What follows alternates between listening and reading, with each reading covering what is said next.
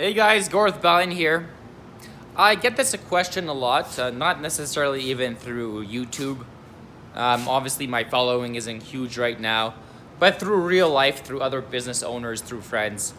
Hey, you know, Les, how do you advertise your business? How do you get clients? And well, first of all, I have a physical location, and that helps hugely. And for that, I'd recommend, and I think it still works even if you don't necessarily have a physical location, but Google Business Listing. That also allows people to review your business through Google reviews.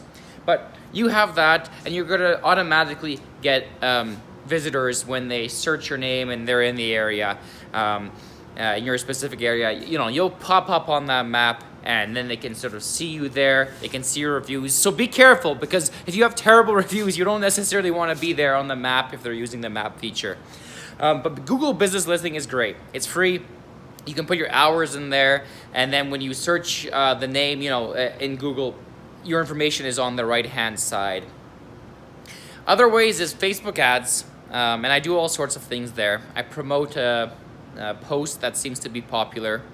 Um, and I have, uh, you know, let's get more likes on this page. Let's get more visitors to our website. Um, I also do AdWords, which is similar, except in this case, people are searching um, a relevant keyword in a relevant uh, in a certain area, you know, and your information is going to pop up there um, in the advertising features. I spend about seven, eight dollars a day on on that and about $15 a week on Facebook ads. So it's not a huge amount, but I do want that traffic to start trickling into the website. Now, it's a great idea to have a good website.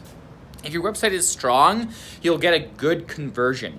We have a form on the website. A client can go onto the website, they see the form, okay, let's book. I see the prices right there. I know some websites uh, don't have their prices, and that's fine, and we do. Um, I like to be sort of straight up with things like that. So they see the prices, they fill out the form, and boom. Once they fill out the form, the likelihood of them becoming a client is huge. I mean, maybe 20% of people cancel that sort of form fill out, but the rest, the rest go, they say, yep, let's do this. And once I get that form information, I send them like an invoice through Wave Accounting, by the way, um, which allows the client to pay right from that email they get. So it's hugely effective. I highly recommend you guys check out Wave, by the way. Anyways, let's go back to the uh, advertising. Another thing, I keep social media, Instagram, um, Facebook, uh, Twitter, all those things up to date. Because when people go onto those things and they see an up to date post, there's people say, hey, you know, this guy's posting regularly, he cares about his business.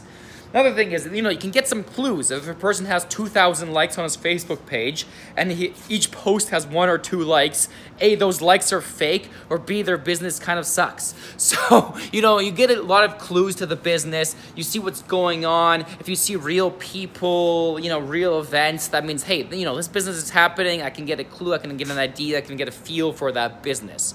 So I think keeping your social media, and it's pretty much free, up to date, it is huge. It's free advertising, or at least it can be. I mean, you, you can obviously pay for it like Facebook and Instagram, but um, it's, it's a mixture of free and paid, and, and, and, and certainly, um, uh, you know, you might if you don't want to spend any money, do the free stuff. But keeping that up to date is great. I go to businesses when I'm looking for a service, and if their last post was a year ago, you know, I realize this person doesn't really care about the business, or potentially that business is actually shut down. So that's uh, that's huge. Another thing is, I realized Kijiji actually um, is popular in Canada. Canada, more popular than say Craigslist. No one really does Craigslist here in Canada. Although I noticed in the states, people are still huge fans of that, um, and that must be might be a Western Canada thing. But anyways, Kijiji. I have I have several different accounts and I post as much as possible.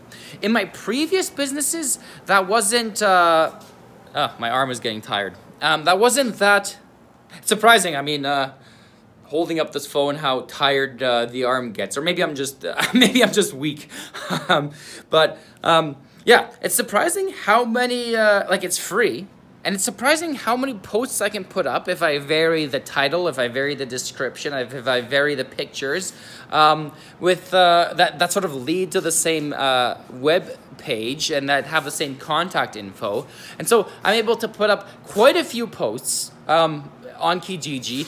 So I, I actually try to flood Kijiji as much as possible with my information because it's free. And I, I mean, there is a paid for version of Kijiji. Like, uh, obviously, if you want uh, your ads to be on the homepage, etc., you're going to pay for that. But in my case, I only do free stuff because I find there's not that huge of a difference. And I realize, okay, well, I put five free ads uh, versus two paid ones. And sorry, it really is a similar um, result. So I have a, a lot of ads on uh, Kijiji as well. Now, also, you know, word of mouth, I hand out business cards, but beyond that, that's really it. A few social media things, and, I, you know, I try to be consistent with this as well. So I do. Um, um, like almost every day I'm trying to do something. Um, an AdWords campaign, um, or at least I go in there and tweak information. Um, I tweak the keywords, I see what's going on. Um, Facebook, every couple days I go in there. Oh, by the way, Facebook Marketplace is a new thing, and it seems to be working a little bit as well. So I go in there and throw some po uh, posts up. So hopefully that uh, helped you guys a little bit. That's what I do for marketing. And uh, yeah, I, will tweak it as the business, obviously, as it grows. In the summertime, things are more busy, so I care much less about advertising. Um, but in the wintertime and currently at my scale, that's what I do. Hopefully that helped. Guys, subscribe to the channel. I love you guys. Take care. Take it easy. Have a good weekend. See ya.